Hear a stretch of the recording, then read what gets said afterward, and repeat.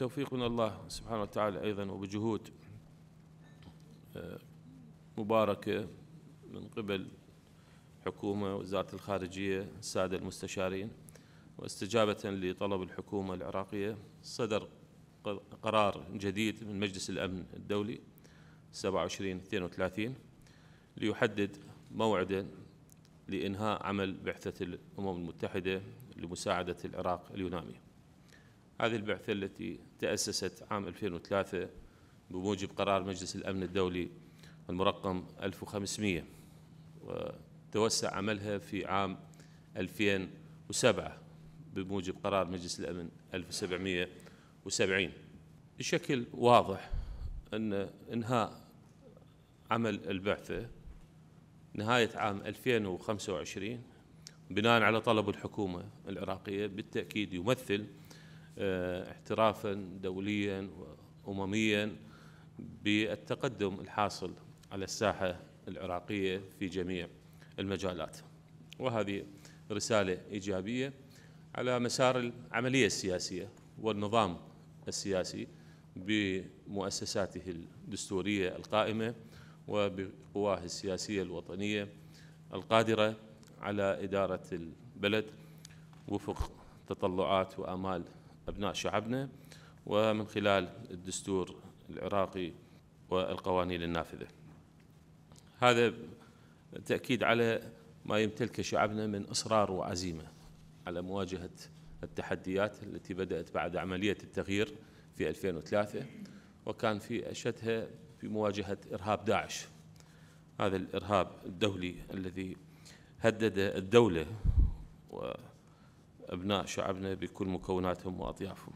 تمكن الشعب من الانتصار والاستمرار في بناء الدولة ومؤسساته بفضل تضحيات الشعب ووقوف قواتنا المسلحة بكل عناوينها وأصنافها. أيضا استمرارنا على العملية السياسية وتداول السلم للسلطة من خلال الانتخابات الدستورية كان دليل واضح وملموس على إرادة شعبنا الكريم. كل القراءات الدولية المنظمات المختصة وصلت إلى تقييم أداء يدعم الاستقرار. وهذا بالتأكيد يتوازى مع طموحات مواطنينا آه، ويفتح الآفاق نحو آه، تطور شامل في كل المجالات الحياتية والاقتصادية والاجتماعية. القرار الأخير لمجلس الأمن الدولي آه، يضع العراق في صلب دوره الحضاري والسياسي التاريخي بوصفه حجر زاوية في أي عملية استقرار أمني واقتصادي تحتاجها المنطقة والعالم.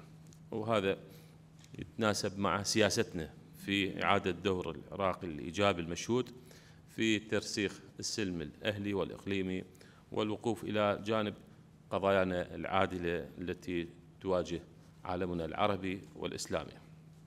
وفي مقدمتها بالتأكيد القضية الفلسطينية.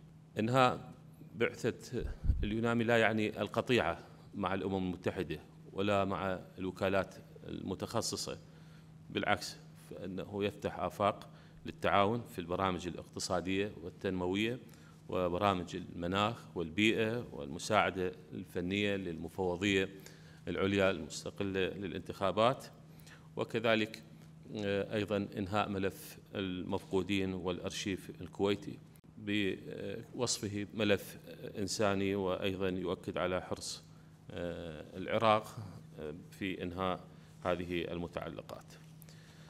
فكل التقدير للجهود التي بذلت من أجل الوصول إلى هذا القرار المهم والاستراتيجي.